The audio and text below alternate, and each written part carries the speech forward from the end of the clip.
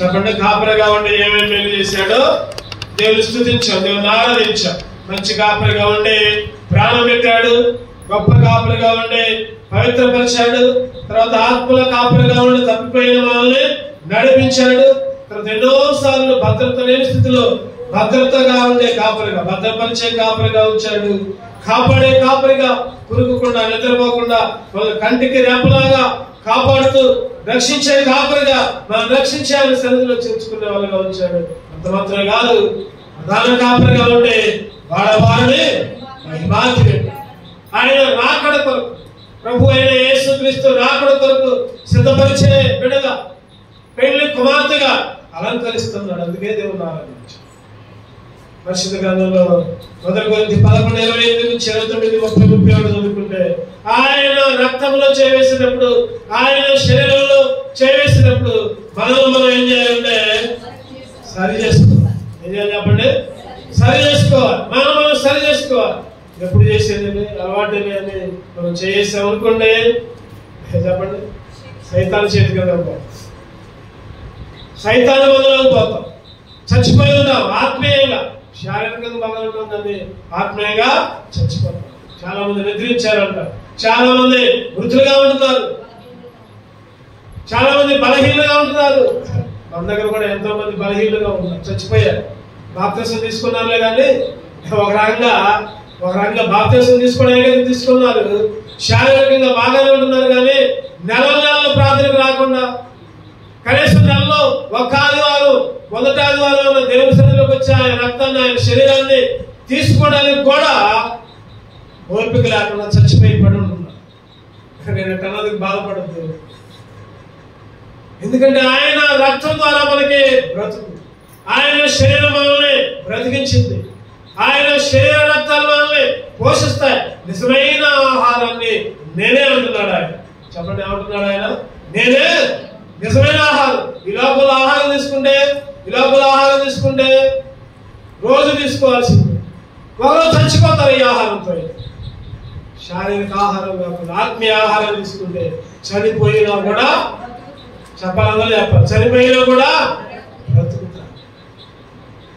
ఈరోజు చచ్చిపోయే వాళ్ళగా ఉండొద్దు. ఆయన స్థుతించాలి. ఆయన్ని భద్రపరచాలి. ఇక్కడ మాట చదువుకున్నాం నా గొర్రెలు నా గొర్రెలు నా స్వరం వింటాయి. అవి నన్ను వెంబడిస్తాయి వెంబడిస్తాయి వెంబడించడం అంటే వెంబడించడం ఏడు పోతే అటు కాలంలోకి పోతే కాలంలోకి ఆ, పోతే అడవిలోకి ఏడు పోతే ఆడు పాట ఉంటుంది. ఆ పాట ఉంటుంది ఏంటంటే I have decided to follow Jesus I have decided to follow Jesus no turning back no turning back no turning back no turning back అంటే నా అర్థం ఏంటంటే ఏదో కొత్త ఇంగ్లీష్లో పాడాలి మాకేం అర్థమైంది అనుకుంటారేమో నేను యేసుక్రీస్తుని వెంబడిస్తా. ఐ హావ్ డిసైడెడ్ డిసైడెడ్ అంటే ఒక నిర్ణయం తీసుకోండు. యేసుక్రీస్తుని వెంబడిస్తా. నో టర్నింగ్ బ్యాక్ వెనక్కి చూడదు వెనక్కి చూడదు కష్టం వచ్చిన ఇబ్బంది వచ్చిన ఇరుకు వచ్చిన. సాధు సుందర్ సింగ్ గారు ఈ పాట రాశారు.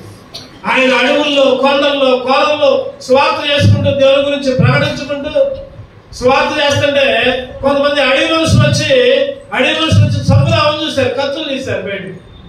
అటువంటి సందర్భంలో ఈ పాట రాసి ఇగో మీరు నన్ను చంపినా మీరు నన్ను ఏమి చేసినా నా కుటుంబాన్ని లేకపోతే నా బంధువుల్ని లేకపోతే నన్నే ఏది చేసినా నేనైతే వెనక్కి చూడను వెనక్కి తిరగను. నో టర్నింగ్ బ్యాక్ ఈరోజు ఒక్కసారి రక్షణ పొంది మారు మనసు పొంది బాప్తీసం తీసుకుంటే ఇక ఆయన వెంబడించడం మానకూడదు. వెంబడించడం మానకూడదు. ఆయన ఎల్లప్పుడూ కూడా వెంబడించాలి. వెంబడించేటప్పుడు కొన్ని కష్టాలు రావచ్చు. కొన్ని ఇబ్బందులు రావచ్చు. లోయలైనా కొండలైనా. చెప్పండి. గుట్టలైనా ఏదైనా. ఒక్కోసారి ఆ కాపరేమాలను కొట్టచ్చు కూడా. ఆ కాపరేమాలని శిక్షించవచ్చు. అయినప్పటికీ కూడా అయినప్పటికీ కూడా వెనుదిరిగి చూడకూడదు. ఈరోజు ఎంతమంది అటువంటి నిర్ణయంతో ముందుకు వస్తున్నారు రక్షణ పొందాం మారుమనసు పొందాం బాప్తిసం తీసుకున్నావు అయినా ఇంకా వెనక్కి ఎందుకు తిరిగేది వెనక్కి చూడటం దేనికి? వెనక్కి చూడడం. కొంతమంది అంటారు కదా "ఆహా, మేము అక్కడ పోతున్నాం అక్కడ మందిరంలోకి పోతున్నాం అంటారు. చాలా సంతోషం. అరే నీ సొంత మందిరాన్ని వదిలిపెట్టి ఎక్కడికెక్కడికో పోతే ఎట్లా?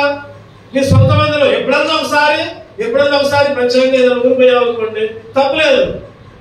తప్పలేదు కాదంట అరే ఇక్కడ ఉండి కూడా ఇక్కడ ఉండి కూడా నువ్వు ప్రార్థనకు రాకుండా ఉంటే అట్లా నీకు ఇంటి దగ్గర ఎట్లా ఉండబుద్ధి అవుతుంది?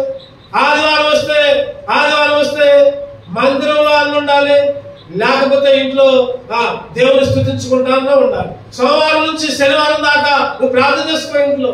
ఆదివారం వస్తే ఖచ్చితంగా నీకు ఎన్ని పనులు ఉన్నావు ఈరోజు మనం ఎందుకు దీవించబట్టలేదు ఎందుకు ఆశీర్వదించబట్టలా? మన జీవితాల్లోకి వెలుగులు మన జీవితాల్లోకి దేవుడు మన కుటుంబంలో మేలు ఎందుకు జరగట్లేదంటే ఎందుకు జరగట్లేదంటే మన పిల్లల విషయాల్లో మేలు ఎందుకు జరగట్లేదంటే ఒక తీర్మానం తీసుకున్న తర్వాత ఆ తీర్మానాన్ని ఎగరబడతాం వెంబడిద్దాము అని అనుకున్నాం. వెంబడించట్ల ఆదివారం వస్తాను పోతాను కొంతమంది ఆదివారాలు కూడా ఒక నెలకు ఒకసారి లేకపోతే రెండు సార్లు వస్తారు. అది ఉపవాస కొడుకులు ఉండవు. ఆల్రెడీ ప్రార్థనలు ఉండవు. సంఘ ప్రార్థనలు ఉండవు. బైబిల్ స్టడీలు ఉండవు. ఎక్కడ నువ్వు వెంబడించేది? ఎక్కడ వెంబడించేది? ఒకసారి చెప్పుకుందాం మనం. మొత్తం ఎన్ని గంటలు లెక్క పెట్టుకోండి? బుధవారం ఒక గంట. శనివారం ఒక గంట గంటన్నర రెండున్నర గంటలు. ఆదివారం ఒక మూడు గంటలు. ఒక మూడు గంటలు. ఎన్ని గంటలు అవుతున్నాయి ఎప్పుడు ఐదున్నర గంటలు అవుతుంది. తర్వాత ఆన్లైన్ ప్రార్థన ఉన్నప్పుడు ఒక నాలుగు గంటలు ఐదు గంటలు ఉంటాం. పది గంటలు అవుతుంది. తర్వాత ఉపవాసం కూడుకున్నప్పుడు అప్పుడు కూడా ఒక నాలుగు గంటలు. పద్నాలుగు గంటలు అవుతాయి అంటే అంటే నెల మీద నెల మీద లెక్క పెడితే ఒక ఇరవై గంటలు. నెల మీద లెక్క పెడితే ఒక ఇరవై గంటలు కూడా నువ్వు సన్నిధిలో కనపట్లా ఆదివారం ఒక రెండున్నర గంటలు వస్తున్నావు. నాలుగు రెండున్నరలో పది గంటలు అయిపోతుంది. నువ్వు బలపడేది ఎట్లా? నువ్వు ప్రార్థన చేసేది ఎట్లా? నీకు ఆత్మీయంగా చచ్చిపోయింటే నువ్వు మెలుగుతో ఆ నిద్ర నుంచి మెలుగు పొందేది ఎట్లా? అందుకనే బైబిల్ అంటుంది కదా నాగులు నా స్వరము వినును అవి నన్ను వెంబడించదు వెంబడించదు చెప్పండి. ఏ రీతిగా వెంబడించాలి ఏ విధంగా వెంబడించాలి? కొత్తలో కొన్ని విషయాలు ధ్యానం చేసుకుని మనం మనలో ప్రవేశిస్తాం రెండు మొదటిగా లోకస్వార్త లోకస్వార్త పద్దెనిమిది నలభై మూడు. లోకస్వార్త పద్దెనిమిది నలభై మూడు. వెంటనే వాడు చూపుకుంది. చూపు పొంది. ఆ వెంటనే వాడు చూపు పొంది. దేవుని మహిమపరచుచు ఆయనను ఆయనను వెంబడించను. ప్రజలందరూ అది చూచి చేసి దేవుని స్తోత్రము చేసి వెంబడించటం.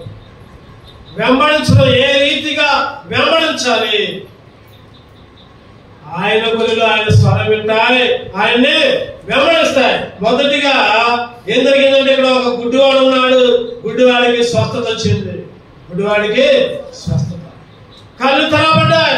అప్పుడు దాకా ఆ, స్వస్థత లేదు చూపు లేదు. చీకటి అయోమయ అంధకారం. ఎప్పుడైతే వెలుగొచ్చిందో స్వస్థత పొందాడు వెంటనే వెంటనే వాడు ఆ, చూపు పొంది దేవుని మహిమపరచు ఆయనను వెంబడించిన ప్రజలందరూ దాన్ని చూసి దేవుణ్ణి ఈరోజు ఈ నువ్వు నేను కూడా గుడ్డలో కావచ్చు కుంటల్లో కావచ్చు.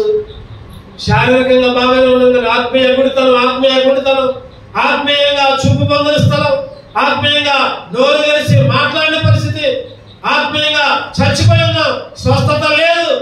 అటువంటి స్థితిలో స్వస్థత ఇచ్చాడు చూపించాడు. చెవులిచ్చాడు వినడానికి దేవుని వాక్యాన్ని. దేవుని మీద దేవుని వాక్య భాగాన్ని చూడటానికి బైబిల్ ఇచ్చాడు. లేకపోతే దేవుని సన్నిధిలో గడపడానికి దేవుని సన్నిధిలోకి రావడానికి కాలు ఇచ్చాడు చేతులు ఇచ్చాడు పాతానికి నోరిచ్చాడు అన్ని రకాల స్వస్థతలు ఇస్తే ఇంకా ఆయన మహిమపరచకుండా ఇంకా ఆయన్ని గణపరచకుండా ఇంకా ఆయన స్థుతించకుండా ఇంకా ఆయన వెంబడించకుండా ఉంటున్నాం. ఆ గుడ్డోడైతే గుడ్డోడైతే వెంబడించాడు. ఎట్లా? దేవుణ్ణి మహిమపరచచ్చు ఆహా నాకు చూపు వచ్చింది ఆహా నాకు మేలు జరిగింది. ఆహా నాకు ఆశీర్వాదం కలిగింది. నేను వెంబడిస్తానేముంది అందరూ కూడా ఆ గుడ్డోడు వెంబడిస్తే అక్కడ మాట రాయబడింది. అందరూ కూడా దేవుణ్ణి స్థుతించారు. అందరూ కూడా దేవుణ్ణి స్తోత్రము చేసి స్తోత్రం చేశారు. ఈ గుడ్డోడు దేవుని స్థుతిస్తే అందరూ స్తోత్రం చేయడం ఏంటి? చెప్పండి. ఈరోజు నువ్వు నేను కూడా దేవుణ్ణి స్థుతిస్తుంటే దేవుని వెంబడిస్తుంటే అందరూ కూడా స్తోత్రం చేయాలి. మన మాటలు బట్టి మన చూపులను బట్టి మన తలంపులను బట్టి మనం దేవుణ్ణి మాయపరుస్తుంటే ఆహా దేవుడు ఇలాగ ఎంత గొప్ప కార్యం చేసిండు. దేవుడు ఎన్ని మేలతో నింపిండు దేవుడు ఎంత గొప్పవాడు? నేను కూడా దేవుడిని అంగీకరిస్తే నాకు కూడా ఇటువంటి మేలు జరుగుతాయి కదా? అందరూ కూడా దేవుణ్ణి గనపరచాలి అదే మనమే మహిమపరచాలి. మనమే కనపరచట్లా దేవుడు? మనమే స్థుతించట్లా? మనమే దేవుడిని వెంబడించట్లా ఇంకా మనం చూసిన వాళ్ళు మన ఇంట్లో వాళ్ళు ఏమన్నా చేస్తారు? అమ్మ నువ్వు పోయింది చాలే నువ్వే సరిగా ఉండవు నన్ను రమ్మంటావా అంటాడు భర్త. అమ్మ పోయా నువ్వే పోయిను నువ్వే మాట్లాడుతున్నావు నువ్వే పాటలు పాడుతున్నావు. నీ ప్రవర్తన ఏది? నువ్వు సరిగా ఉండమంటే నువ్వు సరిగా ఉండమంటే నన్ను రమ్మంటావా? అంటుంది భార్య. ఇంట్లోనే వెంబడించరు ఇంట్లోనే ఏమన్నా అంగీకరించరు కారణం నువ్వే నేనే. దేవుని మహిమ పరచచ్చు దేవుని ఘనత కష్టం వచ్చినా నష్టం వచ్చింది ఇబ్బంది వచ్చిన మధ్య నా దగ్గర చదువు దిగికాడలో నా దగ్గర ఇప్పుడు రెండు వేల ఆరులో టూ థౌజండ్ సిక్స్లో చదువుకున్న అమ్మాయి మ్యారేజ్ అయింది. మ్యారేజ్ అయింది. వెంటనే మ్యారేజ్ చేశారు. ఆమె ఇంటర్మీడియట్ వేసినప్పుడు మ్యారేజ్ చేశారు. మ్యారేజ్ చేశారు చర్చికి వెళ్తున్నారు. చక్కటి కుమారుడు ఇచ్చిండు చక్కటి కుమారుడు ఇచ్చిండు. ఆ కుమారుడు అన్న పదో తరగతి తప్పిండు ఏం జరిగింది చెప్పండి? పదో తరగతి బాగా గుర్తుపెట్టుకొని నేను పరిచయంలో ఉన్నాను. దేవుని వాక్యాన్ని ప్రకటిస్తున్నా తెలుసుకొని ఫోన్ చేసి సార్ మా ఇంట్లో ప్రార్థన పెట్టాలి సార్. ఏం మేలు జరిగింది? దేవుడు ఏం మేలు చేశాడు? ఎందుకు? నువ్వు ఎక్కడ ఉంటున్నావు అంటే నేను ఫలానా దగ్గర ఫలానా దూరంలో ఉంటున్నా. ఇప్పుడు మా ఇంటికి వచ్చాను నేను? ఇక్కడ నాకు సేవకులు తెలియదు. మీ వాక్యాన్ని విన్నా నేను. మీరు వచ్చి ప్రార్థన పెట్టండి. ఏంటమ్మా? ఏంటి కారణం? అంటే చెప్తుంది మా అబ్బాయి పదో తరగతి చెప్పాడు ఎందుకు ప్రార్థన పెట్టాలంట చెప్పండి అందరూ. అబ్బాయి పదో తరగతి నాకు ఆశ్చర్యం అయిపోయింది. అరే పదో తరగతి పాస్ అయినా ఇంటర్మీడియట్ పాస్ అయినా లేకపోతే ఇంకేదో ఇంకేదో చదువుల్లో ఉన్నతంగా ఉంచిన చాలా మంది ప్రార్థనలు పెట్టుకోవట్లేదే. అదే ఈ అమ్మాయి అంటే తప్పింది కాబట్టి ప్రార్థన అడిగా నేను కొద్దిగా. ఎందుకు కారణం? చాలా మంచిది. దేవుని స్థుతించడం మంచిది. మరి కారణం ఏంటి? మీ నాన్నలు ఒప్పుకున్నారా? మిమ్మల్ని ఒప్పుకున్నారా? మీ ఆయన ఎక్కడ ఉంటాడు ఒప్పుకున్నాడా? వస్తాడా?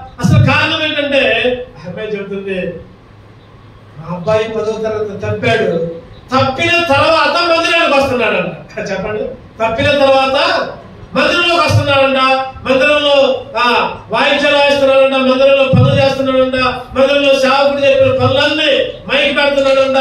చేపలేస్తున్నాడంట తప్పినా పర్వాలేదులే కానీ మా అబ్బాయి చదువులో తప్పినా పర్వాలేదు కానీ మందిరంలో దేవుడు ఉపయోగమైన పనులు రాసుకున్నాడు ఇప్పుడు కాకపోతే తర్వాత దేవుడు తప్పినా సరే దేవుడు తన భవిష్యత్తును చక్కగా తీర్చిదిద్దుతాడు. అందుకనే ప్రార్థన పెట్టాలి. అని ఎందుకు ఈ మాట చెప్పానంటే ఎందుకు ఈ మాట చెప్తున్నానంటే ఈరోజు మన జీవితంలో కష్టాలు వచ్చినా నష్టాలు వచ్చినా లేకపోతే సంతోషం వచ్చినా దేవుణ్ణి స్థుతించడం మానకూడదు. దేవుణ్ణి వెంబడించడం మానకూడదు. దేవుణ్ణి మహిమపరచడం మానకూడదు. అందుకే చాలా సార్లు చెప్పాను నేను. సంవత్సరానికి ఏదో ఒక సందర్భంలో ఒకసారి కృతజ్ఞత కొడుకు మీ ఇంట్లో పెట్టుకోండి. వచ్చే మేళ్ళు వచ్చే ఆశీర్వాదాలు పైకి పోవు ఖచ్చితంగా వస్తాయి. కృతజ్ఞతాకుడిగా మీరేం ఇయ్యకపోయినా పర్వాలా మీరేం పెట్టకపోయినా పర్వాలా. నువ్వు మీటింగ్ పెడితే అది చేయాలి ఇది చేయాలి. లేకపోతే అందరికి భోజనాలు పెట్టాలి లేకపోతే అందరికి అది చేయాలి లేకపోతే కానుక ఇయ్యాలి ఏం ఇయ్యకపోయినా పర్లా ఏం పెట్టకపోయినా పర్లా నీకున్న దాంట్లోనే పెట్టు. మంచి నీళ్ళనే కానీ దేవుని స్థుతించడం మాత్రం మానవుడు గుర్తుపెట్టు. గుడ్డడు ఏం చేశాడు చెప్పండి? చూపు పొందాడని. దేవుణ్ణి మహిమపరచుకుంటూ వెళ్ళాడు. దేవుణ్ణి మహిమపరచుకుంటూ నీ ద్వారా దేవునికి మహిమ రావాలి. నీ ద్వారా దేవుడు స్థితిలో ఉండాలి. నీ ద్వారా నువ్వెక్కడున్నా పనిలో ఉన్నావా? పొలంలో ఉన్నావా? ఉద్యోగంలో ఉన్నావా? లేకపోతే కాలేజీలో ఉన్నావా? లేకపోతే చదువుకుంటున్నావా? లేకపోతే ఇంట్లోనే ఉంటున్నావా? నీ ద్వారా. నీ చుట్టుపక్కల వాళ్ళందరూ దీవించబడాలి నీ ద్వారా దేవుణ్ణి వెంబడించే బిడ్డలుగా వాళ్ళకు ఒక సాక్షిగా ఉండాలి. చదవాలండి రెండవది మొదటిది దేవుణ్ణి మహిమ పరచుకుంటూ బైబిల్లో ఒక మాట ఉంటుంది చెప్పండి మీరు భోజనం చేసినా కూడా మీరు భోజనం చేసిన. ఆ పానం చేసిన మంచినీళ్ళు తాగిన అన్నదన్న ఆయన మహిమ కొరకే చేయాలంట. ఆయన మహిమ కొరకే భోజనం చేసిన పానం చేసిన. చూద్దాం రెండోదిగా వ్యవహార స్వార్థ పది పది ఇరవై ఏడు. నా గొర్రెలు నా స్వరము నా వినును నా గొర్రెలు నా స్వరము వినును. నా గొర్రెలు నా స్వరం నేను ఎటు పోతే అటు వస్తాయి. ఆయన స్వరం వింటే ఆయన ఎక్కడ పోతాయి మధ్యలో ఇంకోటి వచ్చి స్వరం మార్చి స్వరం మార్చి వెళ్తే వాడమని పోతాం సరైన స్వరం ఏంటో తెలుసుకోవాలి. సరైన స్వరం ఏంటో తెలుసుకోవాలి. ఈరోజు గొర్రెలన్నీ త్రోవ తప్పిపోతున్నాయి. గొర్రెలన్నీ త్రోవ తప్పిపోతున్నాయి. రక్షణ పొందిన సంఘాన్ని వదిలిపెడుతున్నాయి. బాప్తిష్టం పొందిన సంఘాన్ని వదిలిపెడుతున్నాయి. ఇంకేదో లోతులుగా ఒక తలుపు పెలుకులు మాయ కనబడుతుంటే అక్కడికి పోతున్నాయి గొర్రెలు. మన దగ్గర కానీ కానీ చాలా మంది చెప్తా ఉంటున్నారు. ఎవరో ఎవరో ఎవరు ఎవరో ఎవరు గృహాలు దర్శించడం ఎవరో ఎవరు ప్రార్థన చేయటం ఎవరో ఎవరు రావటం. నీ గొర్రె కానప్పుడు నువ్వెందుకు పోతావు? నీ కాపరి కానప్పుడు నువ్వెందుకు వెంబడిస్తావు? నా గొర్రెలు నా స్వరములను అవి నన్ను వెంబడించదు అవి నన్ను ఆయన స్వరాన్ని గుర్తెరగాలి. ఆయన స్వరాన్ని గుర్తెరగాలి. ఈరోజు మందిరంలో ఒక్కోసారి గద్దెంపులు రావచ్చు. ఒక్కోసారి ఒక్కోసారి తీక్షణముగా వాక్యం ద్వారా దేవుడు మాట్లాడవచ్చు. అటువంటి సందర్భాల్లో ఆయన స్వరాన్ని తిరిగి ఇది నా కొరకే ఇది నా కొరకే ఇది నేను బలపడటం కొరకే. ఇది నా కుటుంబం. ఆశీర్వాదాలు పొందుట కొరకే. అందుకనే పాట ఉన్నది. పాట? నీ స్వరము వినిపించుటవువా నీ దాసుడాలకించు నీ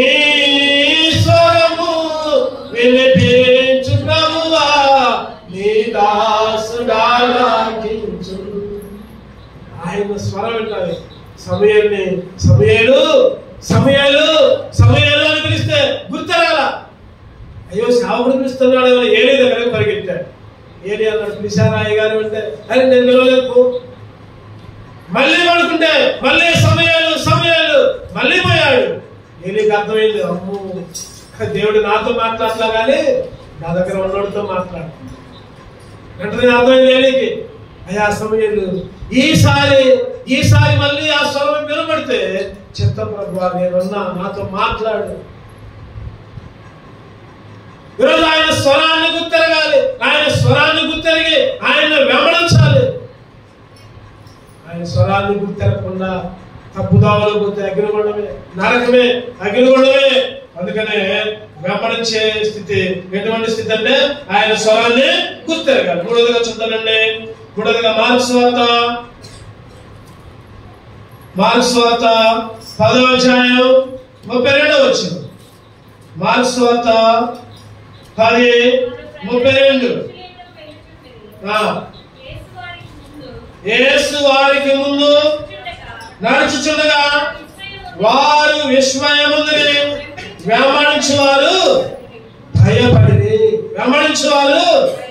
భయపడి వెంబడించే వాళ్ళు ఏం చేయాలంటే ఒకటోదేమో దేవుని మహిమపరచాలి రెండోదేమో ఆయన స్వరాన్ని వినాలి మూడోదేమో భయపడాలి. ఇక్కడ చెప్పండి అందరూ చెప్పండి. మూడోది ఏం చేయాలి? భయపడాలి. ఆయన స్వరాన్ని ఆయన వెంబడించాలంటే ఒక భయం ఉండాలి. దేవుడు అంటే భయం. దేవుని సరిదంటే భయం. దేవుని మందిరం అంటే భయం ఎప్పుడైతే చూడండి మీరు ఎప్పుడైనా చూడండి ఎవరికైతే భయం ఉండదో వాళ్ళ జీవితం అభివృద్ధి పొందుతుంది ఇలా చదువుకునే పిల్లలు చూడండి ఎవరైతే భయపడుకుంటూ ఇంటికి రాగానే వర్క్ చేసుకుంటూ చదువుకుంటూ అమ్మో మాస్టర్ పడతారు అమ్మో ఇది రాయకపోతే ఇది చదవకపోతే ఇది అప్పలేకపోతే నేను ఫెయిల్ అవుతా లేకపోతే సార్ పడతారు నన్ను. ఎవరైతే భయపడుకుంటూ చదువుతారో వాళ్ళు మంచిగా మంచి స్థితిలో మంచి ఉద్యోగాలు ఉన్నతమైన స్థితిలో లోకపరంగా. నిజంగా దేవుడు అంటేనే భయం ఉంటుంది లోకంలో భయం ఉంటేనే లోకంలో ఉన్నతంగా ఉంటున్నామే. మరి దేవుడు అంటే భయం ఉంటే? ఇంకా ఎంత ఉన్నతంగా ఉంటావు ఆయన వెంబడించే వాళ్ళు ఏం కావాలి చెప్పండి? భయపడాలి. ఆయన్ని వెంబడించే వాళ్ళు భయపడాలి. ఈరోజు మందిరం అంటే భయం లేదు. దేవుని సన్నిధి అంటే భయం లేదు. దేవుని సేవకుడు అంటే భయం లేదు. దేవుని వాక్యం అంటే భయం లేదు. లేదా తోటి విశ్వాసులు రక్షణ పొందిన వాళ్ళంటే భయం లేదు నా ఇష్టం నాకు చెప్పేది మీరు చెప్పేది నాకు తెలిసిలేదు. ఎవరంటే నాకు చెప్తే ఈ మాట. అమ్మ ప్రార్థనకి రమ్మా ఎందుకమ్మా ఇంటి దగ్గర ఉండవు? అమ్మ నువ్వే పర్వం కరిగిపో ఏమంటారు చెప్తారు సార్ వాళ్ళు? అమ్మ నువ్వే పోయి నువ్వే పర్వం పోతు పో. నరకానికి పోతాను. భయం లేదు మాకు ఇవన్నీ. లేదు మన దగ్గర ఒక రక్షణ పొందిన ఒక సిస్టర్ పేరు చెప్పండి కానీ రెండు మూడు నెలల నుంచి రాట్లా ఫోన్ చేశారు మరి మందిరానికి రావట్లేదు ఏంది? రక్షణ పొందాక బాప్తీసం ఇచ్చాక నేనే. అన్న ఆదివారం వచ్చేసరికి ఏదో ఒక పని అవుతుందన్న ఆదివారం వచ్చేసరికి ఇవాళ కూడా రాదు. ఒక మూడు నాలుగు వేల నుంచి రాదు.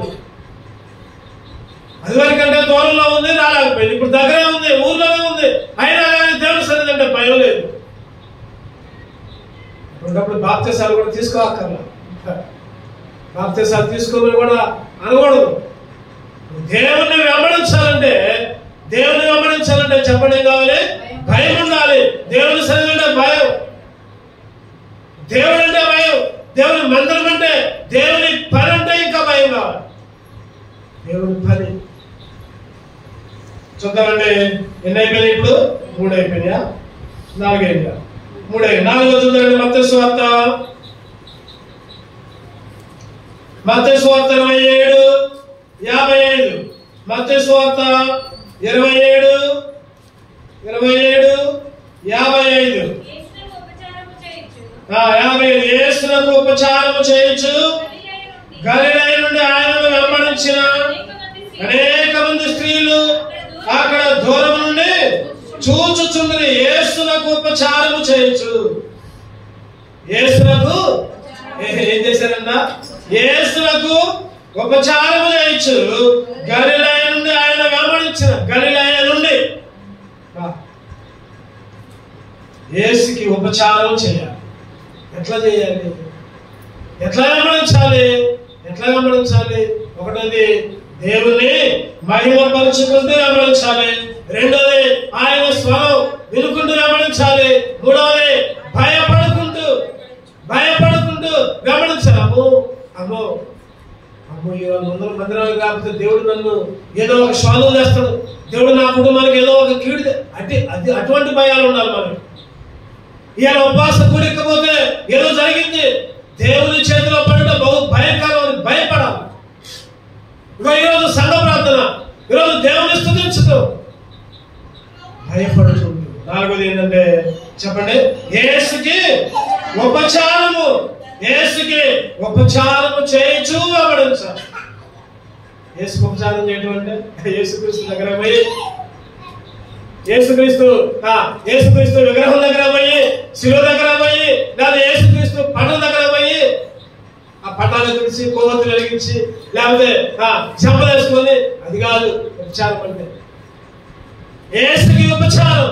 ఏసుకు ఉపచారం ఏంటంటే దేవుని మందిరంలో దేవుని మందిరంలో నువ్వు ఏ చిన్న పని చేసినా ఏ చిన్న పని చేసినా దేవునికి ఉపచారం చేసినట్టే. మార్త చెప్పండి మార్త ఉపచారము చేసింది. లాసరు ఆయనతో కూడా భోజనములకు కూర్చుని వారిలో ఒకడు స్వార్త పన్నెండు అధ్యాయులు పదకొండు అధ్యాయులలో లాసరు చచ్చిపోయాడు అందరూ ఏడ్చారు. పన్నెండు అధ్యాయులకు వచ్చేసరికి చదవండి అన్నమాట యోహాను పన్నెండు. ఒకటి రెండు వచ్చిన ఆ, రెండో వచ్చిన మార్త ఉపచారము చేసిను లాజరు ఆయనతో కూడా భోజనములకు కూర్చున్న వారిలో ఒకడు ఏసుకి ఉపచారం. ఏసు అంటే ఏసు క్రీస్తుకి పనులు. ఈరోజు తోటి విశ్వాసకి నువ్వేదైనా సహాయం చేస్తే ఏసుక్రీస్తు చేసినట్టే గుర్తుపెట్టు నీ మందిరంలో ఉన్న ఒక వ్యక్తికి నీ మందిరంలో చేతగాని స్థితిలో ఒక స్త్రీ ఉందనుకోండి ఒక వృద్ధురాలు ఉందనుకోండి ఆమె కొద్దిగా మంచినీళ్ళు ఇస్తే ఆమె కాదు ఏసు క్రీస్తు ఉపచారం చేశారు ఈరోజు తోటి విశ్వాసుల్ని లేకపోతే సేవకుల్ని లేకపోతే మందిరంలో ఉన్న పెద్దవారిని గౌరవిస్తే వారికి పని చేస్తే దేవునికి ఉపచారం చేస్తుంది దేవుని సన్నిధికి దేవుని సన్నిధిలో దేవుని మందిరంలో నువ్వేం పని చేసినా దేవునికి ఉపచారం చేసినట్టు మనం వెంబడించే వాళ్ళం. వెంబడించే వాళ్ళం. ఎప్పుడు సొంత పనులే కాదు. ఎప్పుడు సొంత పనులే కాదు. దేవుని పనులు కూడా చేసుకుంటూ దేవుని వెంబడించాలి. దేవునికి ఉపచారం చేసుకుంటూ దేవుని వెంబడించాలి. ఏదో సంవత్సరాలకు ఒకసారి రెండు సార్లు లేదా నాలుగైదు సార్లు అట్లా కాదు. అట్లా కాదు. ఏ సందర్భం వచ్చినా సరే ఏ సందర్భం వచ్చినా దేవుని పని అంటే ముందుకు రావాలి. ఉపచారము చేస్తూ ఏం చేశారు వాళ్ళు? అనేక మంది స్త్రీలు వెంబడించుకుంటూ వచ్చారు. చూద్దారండి ఐదోది మధ్య స్వార్థ పదహారు ఇరవై నాలుగు. మధ్య పదహారు ఇరవై నాలుగు. అప్పుడు యేసు తన శిష్యులను చూచి ఎవడైనను నన్ను వెంబడింప కోరినలా తన్ను తాను విపక్షించుకొని తన శిలవనెత్తుకొని నన్ను వెంబడించాలి తన శిలవనెత్తుకొని. ఎవరైతే నన్ను వెంబడిస్తారో ఏం చేయాలి చెప్పండి? వెంబడిస్తారు శిలువనెత్తుకొని వెంబడించాలి. సిలువనెత్తుకొని ఓ ఇదేగా? సిలువనెత్తుకొని వెంబడించడమేగా? ఆయన మెల్ల ఒక సిలువ వేసుకోండి. ఆ సిలువను మోసుకుంటూ వెంబడించడం కాదు. లేకపోతే సంవత్సరాలకు ఒకసారి రోడ్ల మీద సిలువను మోసుకుంటూ వెళ్ళడం కాదు. చేస్తారు అట్లా చాలా మంది రోడ్ల మీద రోడ్లు వేసుకుంటూ ఒకటి రెండు మూడు అంకెలు వేసుకుంటూ. తప్పు పట్టట్లో నేను చేయొచ్చు మంచిదే. ఆ ఒక్క రోజు కాదు ఆ ఒక్క పూట కాదు. జీవితం అంతా చనిపోయేదాకా ఆ ఒక్క పూట లేదా పది రోజులు ఆ ముప్పై రోజులు ఆ నలభై రోజులు చేసి తర్వాత తిరిగిపోతుగా తాగిపోతుగా తిరుగుబోతుగా వ్యభిచారిగా దుర్మార్గుడిగా పాపాత్ముడిగా ఉంటే ఏ ఉపయోగం? ఉందా ఏమన్నా? ఏమి లేదు ఉపయోగం. అట్లా చేసిన వాళ్ళకి శిక్ష ఎక్కువ వచ్చింది గుర్తుపెట్టుకోండి. సిలువనెత్తుకొని వెంబడించమంటే అను దినము ఏసుక్రీస్తు సిలువ కాదు. నీ శిలువ నువ్వు వేయాలి నీ సిలువ అంటే నీ సిలువ అంటే నీ చేతులు కట్టేసుకోవాలి నీ నోరు కట్టేసుకోవాలి నీ కాళ్ళు కట్టేసుకోవాలి అభ్యర్థుల దగ్గరకు పోకుండా అభ్యర్థుల మాటలు మాట్లాడకుండా. శిలువనెత్తుకొని వెంబడించడం ఏంటనుకుంటున్నారు? బూతు మాటలు రాకుండా నోరు కట్టేసుకోవాలి అదే శిలువనెత్తుకొని వెంబడించదు. చెడ్డ ప్రదేశానికి పోకుండా కాళ్ళని కట్టేసుకోవాలి అదే విమర్శించిన సిలువలు ఎత్తుకొని నీ శిలువ నువ్వు ఏసుక్రీస్తు శిలువ సిలువ ఉపయోగం ఇక్కడ చక్కగా ఉంది క్లియర్గా ఉంది మాట. చదవండి మళ్ళీ ఒకసారి. మళ్ళీ ఒకసారి. అప్పుడు యేసు తన శిష్యులను చూచి ఎవడైనా నన్ను తనను తాను ఉపేక్షించుకొని నా సిలువలు ఎత్తుకలుందా అక్కడ? తన సిలువలు ఎత్తుకలుందా ఈరోజు చాలా మంది యేసుక్రీస్తు శిలువలు మోస్తుంది ఆయన మోసాడు అయిపోయింది. ఆయన రక్తదార్చాడు అయిపోయింది. ఆయన చనిపోయాడు అయిపోయింది. తిరిగి లేచాడు మరలా వస్తున్నాడు మరలా వస్తున్నాడు. ఆయన వచ్చినప్పుడు నీ సినిమా నువ్వు ఎత్తుకోకపోతే నరకమే నీకు అగ్నిగుణమే. సిలువనెత్తుకో నీ సినిమా నువ్వు ఎత్తుకో. సిలువనెత్తుకొని కష్టపడు దేవుని కొరకు అవమానపడు. లోకంతో లోకంతో స్నేహం లేకుండా లోక అలవాట్లలో పాల్గొచ్చుకోకుండా లోకపు ఆలోచనతో నీ ఆలోచన కలవకుండా అన్ని లోకం చెప్పినట్టు చేస్తాం ఇప్పుడు వాళ్ళంటూ చెప్పారు ఇలా ఎందుకమ్మా నువ్వు రక్షణ పొందినావు నువ్వు బాప్తిష్టం తీసుకున్నావు? అటు చేయకూడదమ్మంటే అన్న అన్న మా అమ్మోళ్ళు కొట్టలేదు అన్న లేదా మా అత్తోళ్ళు కొట్టలేదు అన్న అన్న కొలవ ఏంటి కబుర్లు? నీ సిలువ నువ్వెత్తుకోవడం అంటే అంత సింపుల్ కాదు. ఆయన నిజంగా వెంబడించాలంటే తన శిలువను ఎత్తుకొని వెంబడించాలి చదవండి ఆరోగ్య ఆరోదిగా మత్త స్వార్థ పంతొమ్మిదో అధ్యాయం ఇరవై ఏడు ఇరవై ఎనిమిది. మత స్వార్థ పంతొమ్మిది ఇరవై ఏడు ఇరవై ఎనిమిది. పేతురు ఇదిగో మేము సమస్తమును విడిచిపెట్టి నిన్ను వెంబడించదు కనుక మాకేమి దొరుకునని ఆయన అడుగుగా. ఏమన్నా వారితో ఆ, యేసుక్రీస్తు?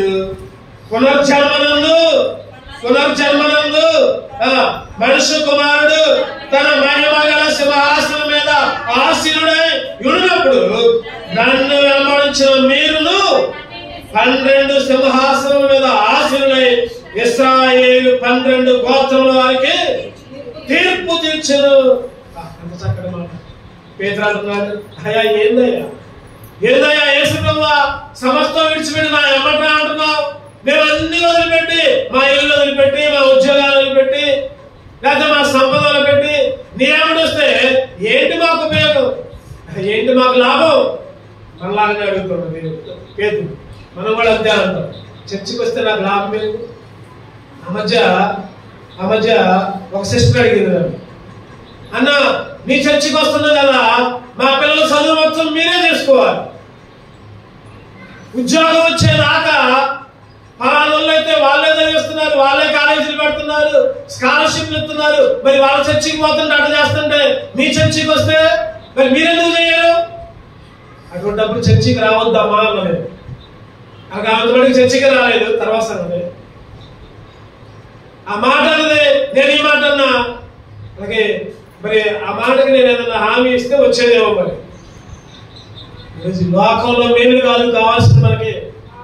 లోకంలో మేలు కాదు కావాల్సింది పేరు అంటున్నాడు ఏమంటున్నాడు మేము సమస్తం వదిలిపెట్టి వస్తే మాకేంటి లాభం మాకేంటి లాభం ఈరోజు నువ్వు నేను అనుకోవచ్చు. పేదలు అంటే పిల్లలు లేరు. ఈరోజు నీకు నాకు పిల్లలు ఉన్నారు. అరే మాకేంటి లాభం? మా పిల్లలకేంటి లాభం? మా పిల్లల కాలేజీలు ఫీజులు కడతారా? మా పిల్లలకు ఉద్యోగాలు చేయడం చేస్తారా? దేవుడి చేతిలో పని. దేవుడి చేతిలో పని. దేవుని దగ్గరికి రా దేవుడే అన్ని చూసుకుంటాడు. దేవుడి దగ్గరికి రా దేవుడే నీ పిల్లల్ని అభివృద్ధి పరుస్తాడు. ఈరోజు చాలా మంది పేతులాగానే పేతులాగానే మేము సమస్తము విడిచిపెట్టేస్తే మాకేంటి లాభం దేవునికి ఇయ్యాల్సింది ఇవ్వకుండా అసలు సమస్తం విడిచిపెట్టడం కాదు. దేవుని భాగాన్ని దేవుని భాగాన్ని కూడా దేవునికి ఇవ్వకుండా దేవుని భాగాన్ని కూడా దేవునికి ఇవ్వకుండా మేము దేవుని వెంబడిస్తున్నామంటే కుదరదు ఈరోజు పేతురు అంటున్నాడు దేవుడు. అయ్యా పేతురు నువ్వు సమస్తం విడిచిపెట్టావు. మంచిదే. నీకు ఎక్కడ కాదయా లాభం ఎక్కడ? తీర్పు దినంలో ఏముంది అక్కడ మాట పునరుద్ధానములు. పునరుద్ధానంలో పన్నెండు గోత్రాల వారికి మీ పన్నెండు మంది తీర్పు తీరుస్తారు. అది ఆధిక్యత. అది దీవెన. అది ఆశీర్వాదం. ఈరోజు నిన్ను కూడా ఒక తీర్పు తీర్చేటప్పుడు మనకు కూడా ఒక పట్టణాన్ని ఇస్తాడంట ఇగో ఈ వంద మంది నువ్వు తీర్పు తీర్చు ఎవరైతే ఆయన వెంబడిస్తారో వాళ్ళకు మాత్రమే. ఇగో నువ్వు ఫలానా ఊరి మీద నువ్వు ఫలానా వంద మంది మీద ఫలానా ఆ, యాభై మంది మీద నువ్వు జడ్జివి నువ్వు న్యాయాధికారివి. పేతురు అదే అంటున్నాడు సమస్తము వదిలిపెట్టొచ్చావు కానీ పునర్జన్మ ముందు మనిషి కుమారుడు తన మహిమగల సింహాసనం మీద ఆశీనుడైనప్పుడు నన్ను వెంబడించిన మీరు పన్నెండు సింహాసనం ఆశీలై ఆశీనులై ఇస్రాయేలు పన్నెండు గోత్రం వరకు అప్పుడు సంగతి మాకెందుకు? మాకు ఇప్పుడే కావాలి.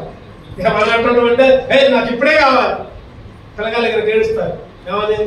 చాక్లెట్. అరే సాయంత్రం వచ్చినప్పుడు లడ్డూలు కట్టాలేరా లడ్డూలు దాడికి చాక్లెట్ కావాలి. నాకు ఇప్పుడే కావాలి. ఏడుస్తా ఉంటాయి ఈరోజు మనస్థితి కూడా మనస్థితి కూడా అంతే. నా అభిప్రాయాన్ని అన్ని జరగాలి. ఇగో ఈ నెలలో జరగాలి. ఈ సంవత్సరంలో జరగాలి. ఇగో ఈ రెండు సంవత్సరాలు నాకు అన్ని మేలు జరగాలి. ఈ లోకం గురించి మనం ఆలోచించొద్దు.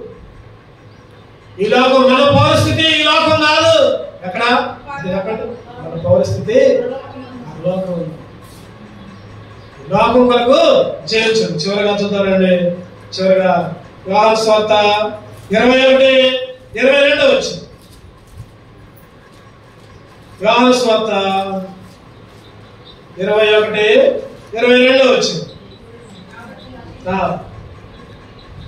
వివాహస్వార్త ఇరవై ఒకటి ఇరవై రెండు. చదవండి. యేసు నేను వచ్చే వరకు అతడు నుండి నాకు ఇష్టమైతే అది నీకేమి? నీవు నన్ను వెంబడించు. నీవు నన్ను వెంబడించు. ఎవరు? ఎక్కడ కూడా? ఇక్కడ కూడా ఎవరు? ఇక్కడ కూడా పేదరే. అందుకనే పేదరికి దుడుకు పేదరు అని పేరు. ఇక ఏ పేదరు అన్నా దుడుకు పేరు. అందుకనే పేదరు కొన్ని కొన్ని రోజులు శాసనంలో పోయిండు.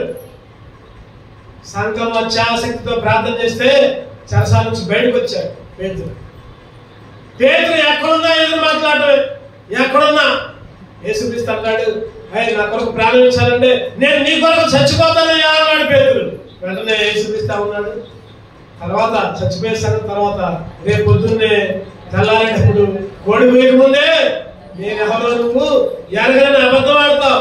అయ్యా ఏంటి ఆ మాటలు? నేనెప్పుడు నేను అన్ను అన్నాడా లేదా? అన్నాడు. అక్కడ వ్యవహారం గురించి మాట్లాడుకుంటూ ఇరవై రెండు వచ్చిన ఏసు నేను వచ్చే వరకు అతను నాకు ఇష్టమైతే అది నీకేంటి? మరి ఆహార సంగతి ఏంటి పై వచనాలన్నీ చదివితే ఆ, పై వచనాలన్నీ చదువుకుంటే యేసుక్రీస్తు రమ్మున అనుకున్నాడంట ప్రభువా నిన్ను అప్పగించువాడని అడిగిన వాడు శిష్యుడు తన వెంచుట తన వెంట వచ్చుట చూచి. వ్యవహారం అంటున్నాడు మరి వ్యవహార సంగతి ఏంటి ఏమన్నాడు యేసుక్రీస్తు? ఆ, అతడు నాకు ఇష్టమైతే అది నీకేంటయ్యా?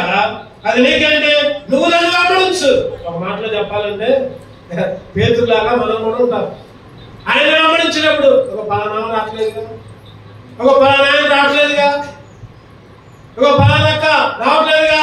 ఒక పలానామ ఏమి ఇయ్యట్లేదుగా? నేను ఎందుకు ఇయ్యాలి? పలానామ ఏం చేయట్లేదుగా? నేను ఎందుకు చేయాలి? పోటీలు పందాలు. పేతులు కూడా పందెం పట్టి వివాహం యేసుక్రీస్తు అతను ఉంటూ నాకు ఇష్టమైతే నీకేదయ్యా మధ్యలో. ఒక మాట చెప్పాలంటే నీ సంగతి నువ్వు చూసుకో. నీ సంగతి? నీ సంగతి నువ్వు చూసుకో. పక్కన సంగతి నీకెందుకు? ఆయన వెంబడించే వాళ్ళు ఆయన వెంబడించే వాళ్ళు పక్కన సంగతి చూసుకోవద్దు. వెనకాల సంగతి ముందు సంగతి ఇంటి పక్కన ఉన్న సంగతి ఇంట్లో వాళ్ళ సంగతి ముందు నువ్వు చూసుకో. నీ సంగతి నువ్వు చూసుకో. నీ సంగతి నువ్వు చూసుకోకుండా నీ దగ్గర వెళ్తుంది ఎదురుడి దగ్గర కొద్దిగా ఉంది. దాన్నే ఊరు మొత్తం ప్రచారం చేస్తే ఏంటది? గురి గింజ గింజ. చెప్పండి గురి వెళ్ళిన గింజ. ఎట్లా ఉంటుంది? నల్లగా ఉంటుంది ఆ నలుపు చూసుకోకుండా ఎదురు దగ్గర పోయి నువ్వు నల్లగా ఉన్నావు అంటే? ముందు నీ నలుపు నువ్వు చూసుకో. నీ తప్పు నువ్వు చూసుకో. నీ పాప నువ్వు చూసుకో. నీ కుటుంబం నువ్వు చూసుకో. నీ పిల్లలు నువ్వు చూసుకో. ఇంకొకళ్ళ మీద పడేయడం దానికి? ఇంకొకళ్ళు అంటుంది యేసుక్రీస్తు అన్నాడు అతను ఉంటుంది నాకు ఇష్టమైతే నీకేంటయ్యా నువ్వు నన్ను వెంబడించు. నువ్వు నన్ను వెంబడించు. నువ్వెళ్ళు మందిరానికి. వాళ్ళు రావట్లేదు మాకు. అయ్యో వాళ్ళు రావట్లా నేను వస్తున్నా. ఆ మాట వద్దు నీకు. నీ సంగతి అయ్యో నేనే చాలా సార్లు పోలేకపోతున్నా. నన్ను క్షమించయ్యా. పోయేటట్టు చేయయ్యా నిన్ను వెంబడించేటట్టు చేయ్యా అని ప్రార్థన చేయాలి. అయ్యా నేను పోతున్నా కానీ వాళ్ళు రావట్లా వీళ్ళు రావట్లా సంఘం వెనకబడుతుంది లేకపోతే అదే అదైతుంది ఇదైతుంది నువ్వు వెనకబడకుండా చూసుకో. ఎవరికి వాళ్ళు? ఎవరికి వాళ్ళు? సంఘం ఒక ఆమె రాట్లా. ప్రార్థనకే రాట్లా. ఎవరో కాదు పేరు కూడా చెబుతున్నాను. మా చెల్లె నిర్మల. ఎప్పుడో ఒకసారి వచ్చింది ప్రార్థనకి ఇంటికి వచ్చాడు అన్న ఏందన్న సంఘం అంతా వెనకబడ్డారు? ఆ వెనకబడే చూసుకోవట్లా? నేనన్నా నువ్వే సరిగ్గా రాకపోతే నీకెందుకు వాళ్ళ గురించాలి ఎందుకంటే సొంతలు కాబట్టి ఏమన్నా అనుకున్నా పర్వాలేదు అందుకనే చెబుతున్నా పేరు. ఈరోజు ఆంశాన్ని తాము చూసుకోకుండా ఆమె సరిగ్గా మందిరానికి రాకుండా సంఘం పడుతుంది సంఘం నిద్రపోతుంది సంఘానికి అది ఇది ముందు నీ సంఘం చూసుకో నువ్వు. నువ్వు మానేయకుండా నా ముందు. నువ్వు దేవుని సన్నిధిలో గడుపు. కొద్దిగా కష్టంగా ఉండొచ్చేమో ఈ మాటలు కానీ దేవుని ఆత్మ ప్రేరేపణతో ఈ మాటలు హెచ్చరించడం జరుగుతుంది. పేతురుతో అంటున్నాడు నువ్వు నన్ను వెంబడించాయా వ్యవహార సంగతి నీకెందుకు? అతను అవ్వటం నాకు ఇష్టమే దేవుడు నీతో కూడా మాట్లాడుతున్నాడు. ఆయన వెంబడించాడు ఆయన వెంబడించాడు నీ సంగతి నువ్వు నువ్వు వెంబడించు నువ్వే వెంబడించు ఫలానా ఫలానా ఆయన ఫలానా ఆయన. ఇవన్నీ వద్దు. ఇవన్నీ వద్దు. ప్రార్థన చేసినప్పుడు కూడా అటువంటి మాటలు చేయమాకండి దయచేసి. నేను నేను ఒకళ్ళని అనేటప్పుడు మంద మనం చూసుకోవాలి. నేనయ్యా నేను నిన్ను వెంబడించడంలో ఇంకా ఏదో లోపం నా లోపాలు నాకు పలానా వస్త్రం రాట్లా పలానా వస్త్రం రాట్లా. దాన్ని గద్దించేవాళ్ళు హెచ్చరించేవాళ్ళు దేవుడు ప్రేరేపించినప్పుడు హెచ్చరించడం జరిగింది. వాక్యం ద్వారా దేవుడు మాట్లాడుతూ ఉంటాడు. మనం అస్సలు మాట్లాడు అసలు అనకూడదు. మన సంగతి మనం చూస్తాం. రెండు కళ్ళు ఒకసారి. రెండు కళ్ళు మూసుకుందాం. దేవుడు నిన్ను హెచ్చరించాడు ఈ సమయం.